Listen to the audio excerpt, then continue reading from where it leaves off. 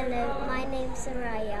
I go to primary school and you never give up because practice makes perfect.